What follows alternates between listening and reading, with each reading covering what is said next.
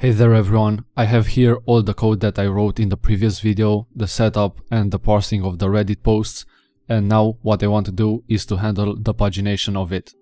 So first off, I'm going to go in the old Reddit uh, website. I have here opened the Node.js subreddit, and here's what we want to do. We want to scroll a bit down. In this list we have about 25 posts as seen from the previous video, and then I want to be able to specify that I want 60 or 70 or 100 uh, recent posts and the scraper to automatically go to the next page, get as many as uh, it needs and then return them back. So basically I want to be able to handle the pagination also. So here's what I want to do.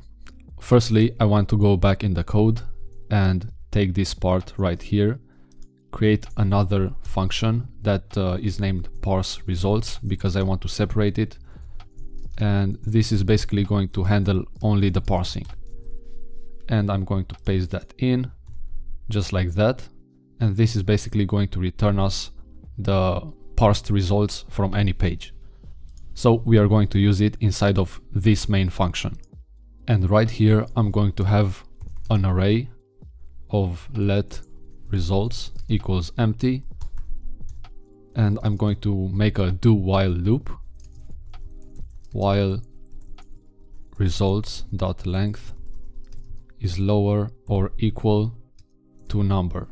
So right here I'm going to have another variable named new results for example and I'm going to await self dot parse results so that I can get the actual parsed results from the current page.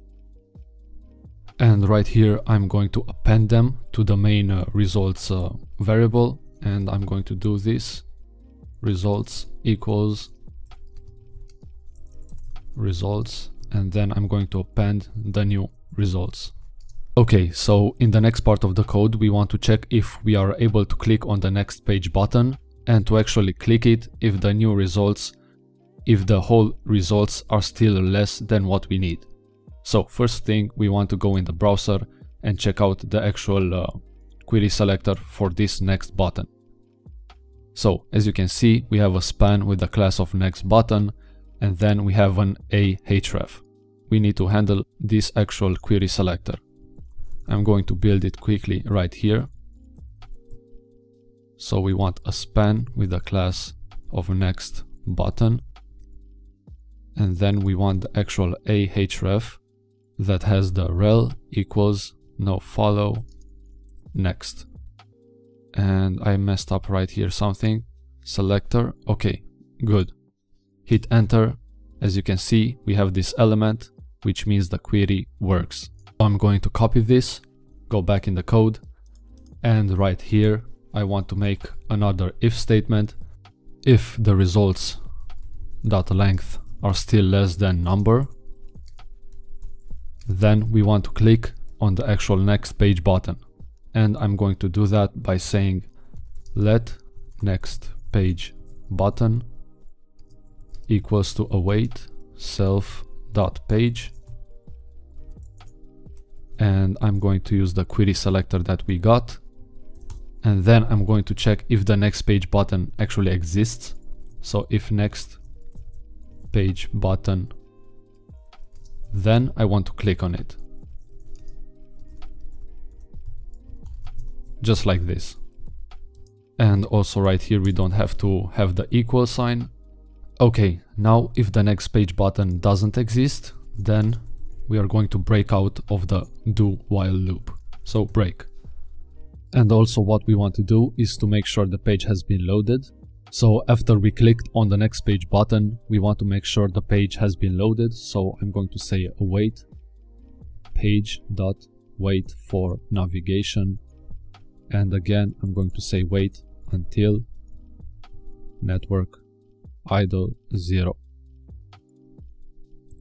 Okay, and also we want to return the items and I'm going to say return results dot slice and we are slicing them because for example, if you ask for 30 results, then it's going to go to the next page and it's going to return 50 results because on the first page there are 25 and the next page another 25. So we want to make sure to splice them up. So I'm going to say here number. Okay, hit save and let's try it out and see if it works. Start it up, opens up the Reddit page. Okay, but nothing happens. Let's check the debug console. Okay, so we have a problem. Results.slice is not a function. Okay, I'm going to stop this. Okay, oh, I see. Yeah, my bad. Right here we have to make sure it's an array and not an object. Let's start it up again.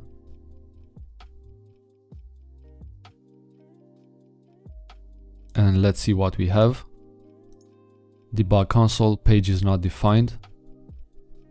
Oh, right here we also have to have self.page.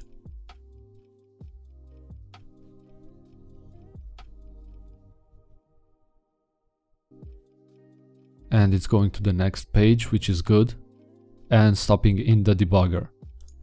Let's return the results and see what we have. An array of 30 objects. Pretty cool. So we have the author name and everything that we wanted. Pretty nice, pretty nice. Looking good. So as you can see, if we go back, this get results function is not that uh, complicated. You can easily do it yourself, but yeah, I know it depends on the actual website that you want to scrape because some of them have uh, different pagination styles, infinite loaders, and yeah, this is basically it guys. Thank you for watching and if you like the video, please subscribe, hit that like button because it helps me a lot Thank you again for watching. Peace out.